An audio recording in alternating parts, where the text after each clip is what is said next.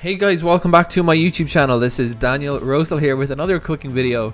Today we're going to be doing the Ethiopian equivalent roughly of Ful Medames and it's called Shahan Ful. Uh, this uh, is different than uh, Ful Medames, the favorite breakfast of the Arabic world, but especially Egypt because of the addition of berbere, which is the addition, uh, delicious spicy uh, spice blend that's popular in Ethiopia and other cuisines in that part of Africa. So here we go. Um, what I'm not showing in this video is the actual process of cooking the ful. I give it like soak for 10 12 hours and uh, cook it for 60 sometimes even 90 minutes nothing drives me crazy more than undercooked beans so you want to make sure those fava beans get really nicely cooked and the older they are the longer they take to cook and sometimes you just need to get new beans because they've been sitting on the shelf for too long. Alright, first step here is to finally chop up a white onion. Uh, this is going to give us the kind of caramelized base. So I did uh, 7 minutes saute and usually I use vegetable oil but because um, this is uh, fava bean goes really really well with olive oil. So I came in with uh, 2 tablespoons and uh, then got sick of measuring stuff because who's got time for that and just kind of put a bit more in using my eyes, some extra for the pan. That's always a good way to justify it. All right, then we want to get our onions into the pan and, uh, you know, cook them around a bit. Seven minutes isn't exact, but what I did was about five minutes for the onions and then another two for the tomato and the berbere to get everything nicely cooked. But uh, you can play around with those measurements. So after getting the onion, then you want to put in the one medium tomato. You can substitute with tomato paste if you have it on hand. It shouldn't change the flavor too much. Um, I always add a little bit of salt while the onions are cooking just to keep the frying process going.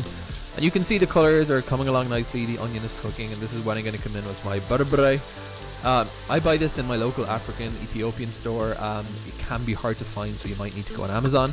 But that's what will give this dish its special taste. Now, I used one tablespoon. Um, if you like it spicy, use two. Uh, one is safer if you're cooking for a bunch of people. Some who love spicy food, some less. Um, so then I put in my uh, cooked fava beans. I actually did these in the instant pot as well, and then just drained them off. Um, I actually ended up putting three in this recipe, so there's a little bit more going to be. The pot's going to fill up a bit more. Um, then you want to add a little bit of cup of water. The idea here is that after adding the beans and the caramelized onions, a bit of water, you want to kind of let it stew for another seven minutes approximately. Um, you can put it on to cover, but obviously if you leave the lid off, you're going to get more of a reduction. Uh, this process can take, sometimes I just do it by eye when the fava bean is starting to mush up a bit. That's when I kind of uh, take it off.